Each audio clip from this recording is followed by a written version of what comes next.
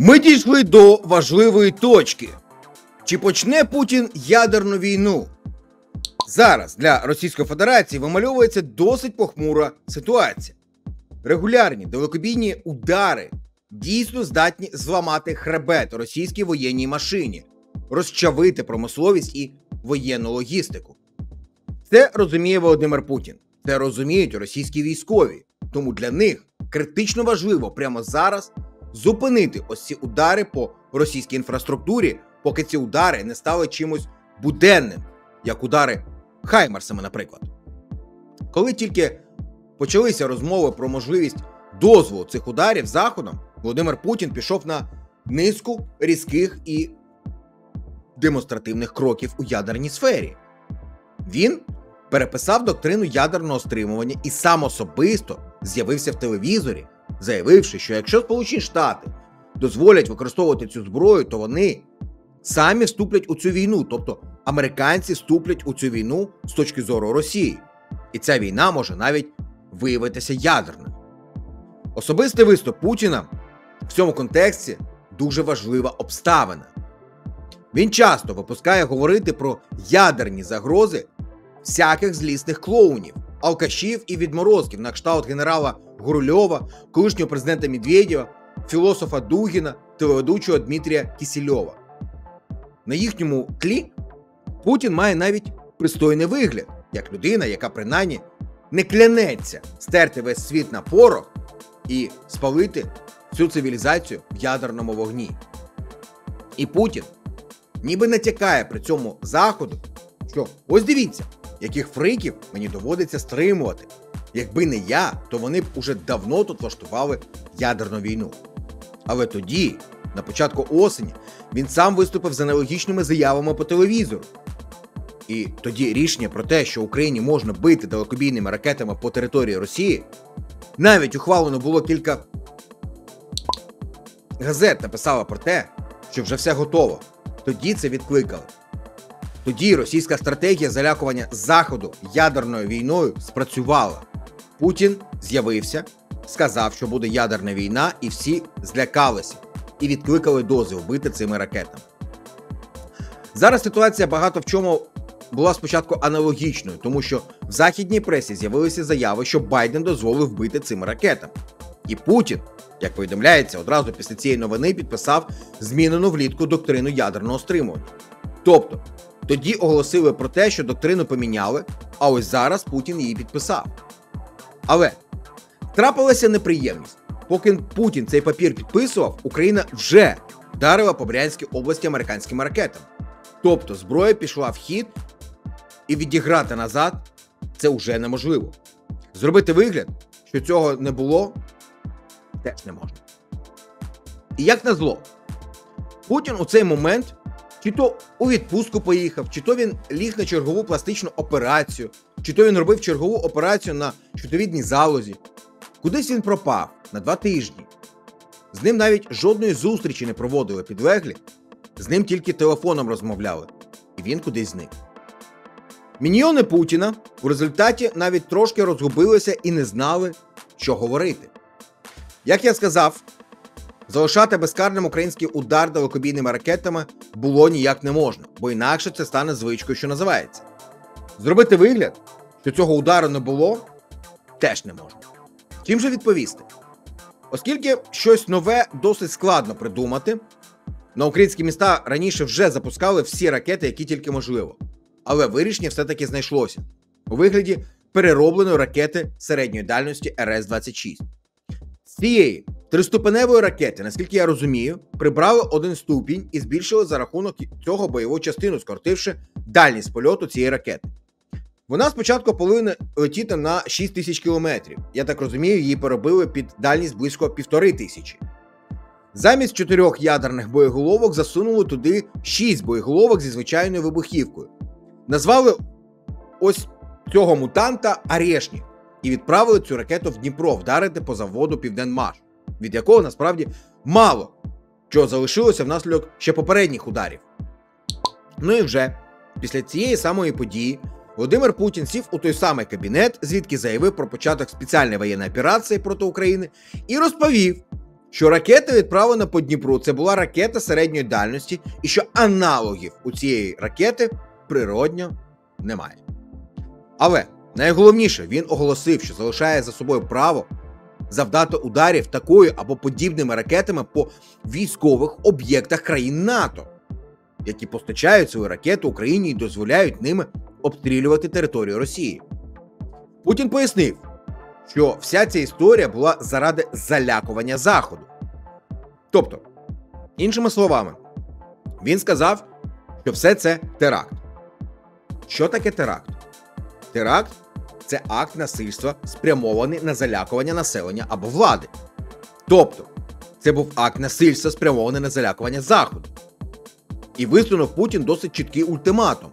Якщо ви не припините допомагати Україні, якщо ви не забороните Україні стріляти далекобійними ракетами по території Росії, то Росія сама завдасть ударів, можливо, ядерних по військових об'єктах тих країн, які допомагають Україні. Тобто Франції, Сполученого Королівства і Сполучених Штатів. Щоб усім усе було остаточно зрозуміло, на арену випустили голову комітету Держдуми з оборони і звуть його Андрій Картополов. Так ось він сказав, що країнам колективного заходу слід боятися і тремтіти у зв'язку із заявою Путіна про застосування нових російських ракет. Загалом, усе це велика операція із залякування Заходу. Це і є той самий грандіозний блеф Володимира Путіна. Фактично, він погрожує країнам НАТО ядерною війною за продовження підтримки України. Але тут треба розуміти, що на Заході ніхто всерйоз зараз не думає, що Володимир Путін, який дуже любить, цінує своє життя, будує палаци, робить пластичні операції, у якого купа кохана, якісь молоді діти, онуки, що ось людина, яка тільки-тільки, як то кажуть, почала жити, ну, за її власними стандартами, почне ядерний Армагеддон заради захоплення Дружківки, Краматорська або ж Слов'янська. У це реально дуже складно повірити. Мені, наприклад, повірити в це практично неможливо. Тому на Заході всі серйозні політики визнали заяви Володимира Путіна туфтою і блефом. Але зате до цих заяв поставилися доволі серйозно в Китаї та Індії. Представники цих країн закликали офіційно знизити градус риторики і не допустити ескалацію конфлікту в ядерну стадію. Чому? Тому що південні країни вкрай стурбовані всім тим, що відбувається. У них величезне населення, у них досить слабкі економіки щодо такого населення. І початок Великої війни викличе там жахливі потрясіння, злидні, голод та бунти. Загалом там може початися щось страшне. Тому вони щосили зараз сигналізують, що ядерна зброя це категоричний табу. Не можна її використовувати за жодних обставин. Якщо Російська Федерація цю зброю застосує, то країни глобального півдня, як то кажуть, розірвуть із нею всілякі зв'язки. Природні. Зв'язки, зокрема, економічні, і які б то не було ще, перерве й захід. Тому що ракети російські в разі виконання погроз Володимира Путіна, як він обіцяє, полетять саме по заходу. Тут треба сказати, що ядерний удар по Україні, який теж розглядають у Кремлі, найімовірніше викличе посилення, а не ослаблення підтримки України з боку країн Заходу. Отже, бити по Україні особливо сенсу немає.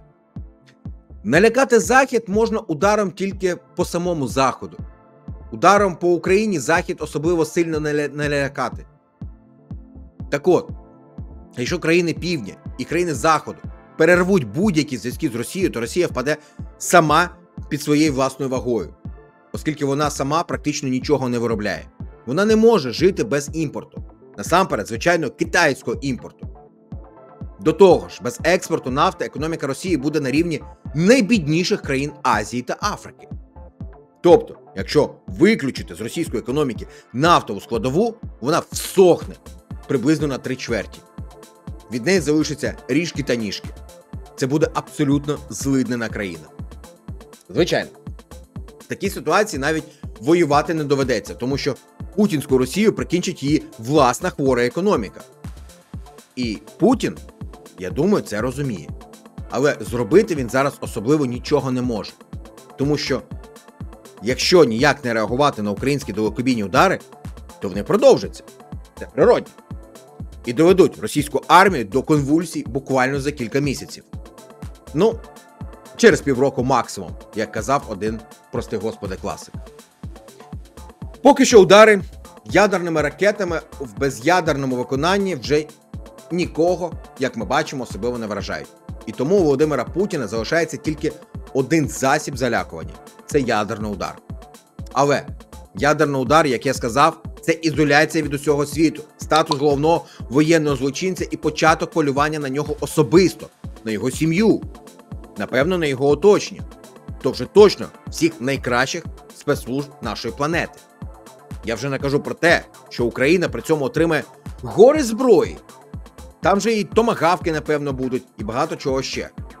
Плюс, мені здається, що є дуже великий шанс того, що люди в оточенні самого Володимира Путіна не надто прагнуть загинути в ядерному Армагеддоні заради досягнення якихось його особистих і досить сумнівних цілей у плані геополітики. Вони можуть його і скинути, якщо в нього остаточно дах потече, і він віддасть наказ розпочати ядерну війну. Я, звісно, розумію, що вони дуже всі бояться і дуже залякані. Але якщо буде два варіанти: зараз ви загинете в ядерному вогні, або ви намагаєтеся скинути Путіна, то я думаю, що замість гарантованої загибелі вони все ж таки віддадуть перевагу у жити Заході. Тим паче, що в оточенні Володимира Путіна доволі багато всяких олігархів. Це люди, які ще в 90-ті роки виросли. Вони доволі жорстокі, рішучі, на відміну від решти російського населення. Самі вони помирати абсолютно точно не хочуть. Ховати своїх дітей і онуків після ядерної війни теж не хочуть. Тим паче, що в російській державі, якщо розібратися, досі навіть зараз ніхто загалом нічим не загрожує. Тому, якщо Росія закінчить війну, то вона зможе далі жити відносно нормально. Звісно, доведеться сплачувати репарації, таке інше, але люди масово гинути не будуть. Інфляція повернеться в нормальні межі і далі.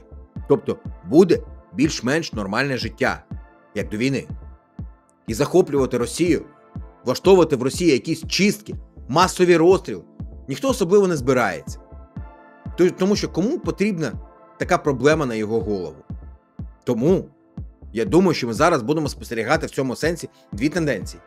Перша тенденція: Путін затиснутий воєнними та економічними проблемами в кут. Поступово зараз буде божеволіти і все частіше думати про те, а не чи не натиснути йому на ту саму червону кнопку. Одночасно з цим його оточення, дивлячись на божевілля свого боса, яке прогресує, почне серйозно думати про те, що з ним робити, якщо він дійсно остаточно збожеволіє і вирішить почати ядерну війну. Зараз ми дійшли дійсно до дуже важливої, дуже цікавої, якщо так можна сказати, точки. Якщо Україна зараз ще один раз, а можливо ще два рази, або краще разів 10 застосує західні далекобійні ракети по території Російської Федерації, то Володимиру Путіну дійсно доведеться вирішувати. Проковтнути це, як це бувало вже раніше, коли вони раніше малювали всякі червоні лінії, які долалися взагалі без жодних наслідків. Або ж зважитися на виконання своїх погроз і завдати таки удару по військових об'єктах країн Заходу. Якщо він з дуру вибере друге, то долю його, знаєте, буде вирішено, як мені здається. Він моментально опиниться в категорії навіть не Саддама Хузейна, а Гітлера або Бен Ладена. Люди без права на існування з точки зору західної цивілізації. Живим його після такого точно не залишить. Ну, а якщо він вибере перше, якщо вирішить нічого взагалі не робити, то Росія продовжить загинатися в нинішньому режимі, поки повільно, але з наростанням швидкості. Тому